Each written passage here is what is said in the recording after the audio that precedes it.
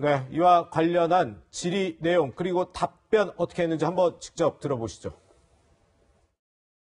제가 그 우리 추 장관께서 취임하시고 취임 인사를 제가 갔었고요.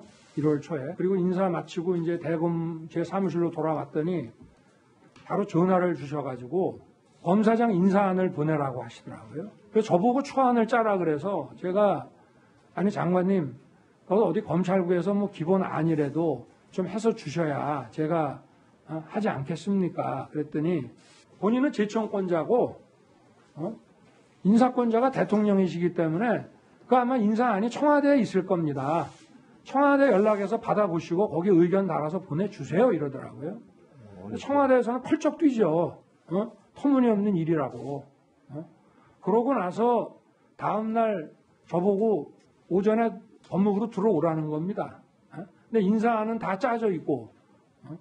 그런 식으로 인사하는 법이 없습니다. 뭐 이렇게 인사안 이렇게 보여주는 게 그게 인사 협의가 아니거든요. 사실 이 추장관과 윤석열 검찰총장 올해 이 인사 문제로도 상당히 많이 부딪혔고 저희 뉴스일 라이브에서 다 전해드렸었는데 이 역시도 작심 발언 같아요. 그 부딪혔다기보다는 그냥 윤석열 총장이 일방적으로 맞았던 게 아닌가 저는 좀 아, 그런 예, 생각이 들거든요. 그러니까 과거에 인사를 관련해 인사와 관련해 가지고는 뭐 법무부 장관이 가진 권한은 인사, 예산 그다음에 감찰이죠. 근데 그 중에 인사가 가장 커요. 이게 사람을 씹는 일이. 네. 인사 관련해서 법무부 장관과 검찰총장이 협의를 하고 마음대로 자기 사람을 꽂지 않았던 거는 검찰의 준 사법기관으로서의 지위를 존중하고 중립성이라든지 독립성, 검찰총장의 전문성을 인정했기 때문에 그렇게 과거에 협의를 해서 이렇게 해왔던 건데 이번에는 총장의 의견이 하나도 받아들여지지 않고 법무부 장관이 오라 그래서 가봤더니 인사안이 다 짜여져 있더라는 거 아닙니까?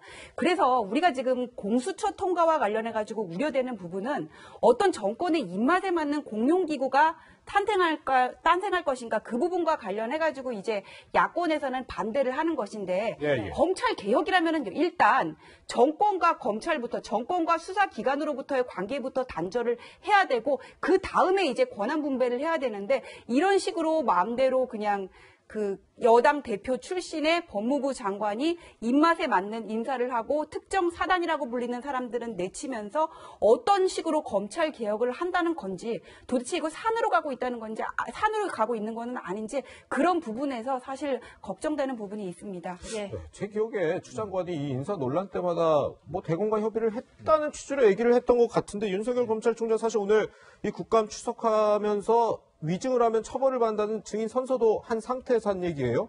근데 이 내용 보면 추미애 장관이 협의를 했다는 말 뭐 좀 믿을 수 없게 되는 것 같은데요. 지금 내용으로만 보면 그러니까 윤 총장의 말 에, 얘기하는 걸로만 보면 그렇게 좀 의문을 풀- 품을 수 있는 부분이 있어요. 근데 이것도 저는 추 장관의 말도 들어봐야 된다고 봐요. 그러니까 본인의 입- 예를 들어서 같은 사안에 대해서 보는 관점에 따라서 각각 다르게 해석할 수는 있는 부분이 있거든요. 예, 예. 그러니까 정말 윤 총장이 얘기한 것처럼 본인의 얘기를 전혀 안 듣고 추 장관이 다 정해놓고 예를 뭐 예컨대 또 청와대에서 뭘 했다고 지금 얘기를 하잖아요. 그건 사실도 아닌 것 같은데 제가 볼 때는 그런 얘기들이 사실인지 아닌 지는 추미애 장관도 뭔가 발언을 할 거라고 저는 봐요. 오늘 얘기에 대해서. 그러니까 윤 총장은 그렇게 얘기했지만 저 부분이 100% 본인의 관점에서 그렇게 볼 수 있지만 또 다른 관점에서는 다르게 이해할 수 있는 부분도 있기 때문에 제가 볼 때는 추 장관의 발언은 그대로 뭐 남아 있는 것이고요. 여기에 대해서 아마 추미애 장관도 어, 윤 총장의 발언은 그대로 남아 있는 것이고 추미애 장관도 여기에 대해서 뭔가 의견을 밝힐 거로 저는 봅니다. 두 사람 입장이 있는 거니까 그 입장을 들어보고 판단해야지 지금 뭐 윤 총장의 말씀을 뭐 저는 문총장의 말씀이 뭐 틀렸다 이렇게 지금 단적으로 얘기할 수 있는 상황은 아니 지만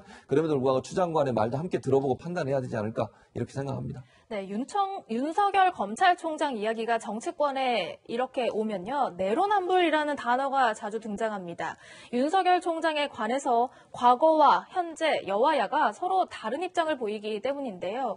윤석열 총장의 의혹과 관련해서 과거에 여당은 이런 반응을 내놓은 적이 있습니다. 직접 보고 오시죠. 그 배우자 관련 회사가 협찬을 받은 게 아니에요. 그 팩트 자체가. 협찬을 받은 회사는 언론사입니다. 그 배우자 회사는 그 언론사하고 같이 주관을 위탁받아서 운영한 회사에 불과한 거예요.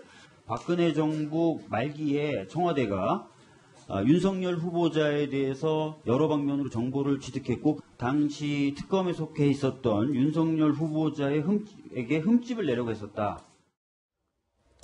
네, 야당은 이런 이랬던 여당은요. 지금 윤석열 총장을 향해 사퇴 압박, 사실상의 사퇴를 요구하고 있는 상황입니다. 이런 가운데 오늘 국정감사장에서는요. 관련해서 이런 장면이 있었습니다. 그 모습도 함께 보고 오시죠.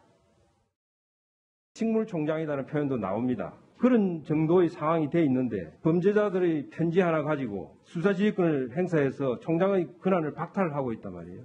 왜 그렇다고 생각합니까? 사퇴하라는 압력 아닌가요? 글쎄 뭐 거취 문제는 아직 임명권자께서 말씀이 없기 때문에 또 임기라고 하는 거는 취임하면서 국민들과 한 약속이니까 어떤 어떤 뭐 어? 압력이 있더라도 제가 할 소임은 다 할 생각입니다. 지금 윤 총장 임기가 내년 7월까지죠. 저 네네. 얘기는 이런 압박을 받아도 난 사퇴하지 않겠다. 그 얘기인 건가요? 사퇴를 할 거면 벌써 했지 예, 지금까지 끌었을 것 같지는 않거든요. 그래서 임기를 다 하겠다 그 얘기인 것 같고 네 네. 그 다음에 그 정의당의 박원석 의원이 뭐라고 얘기를 했냐면 전 의원이요? 네, 전 의원이 뭐라 그러냐면 추미애 장관은 지지층을 향해서 윤석열을 제물로 바치는 정치 게임을 하고 있다 이렇게 얘기를 했거든요. 제물이라는 거는 옛날에 왜 비 안 올 때 가물 때 비 좀 오게 해주세요. 막 이렇게 신께 이렇게 제사 드릴 때 그런 얘기 했잖아요. 그런 게 이게 인디언 기우제거든요. 예. 그 윤석열 총장 처가 관련해서 의혹도 하나는 이미 다 끝났고 재심 몇 번 해가지고는 나 혐의 없다고 나왔고 그 다음에 코바나 콘텐츠 관련해가지고는 홍보하고 협찬 받는 거 많이 받았는데 중간에서 윤석열 총장이 무슨 역할을 하지 않았냐 이런 그냥 근거 없는 의혹 때문에 지금 명확하지 않은 의혹 때문에 나온 것 같은데 예. 이런 인디언 기우제식의 의혹 제기는 자제를 해야 되지 않나 좀 그런 생각이 듭니다. 네, 오늘 대검찰청에 대한 국회 국정감사 지금은 잠시 점심시간 때문에 정해 상태지만요. 오늘 오후까지 계속 이어질 테니까요. 추하, 추가로 나오는 소식 저희 채널A와 함께 해주시고요. 세 분과는 여기서 인사 나누겠습니다. 고맙습니다.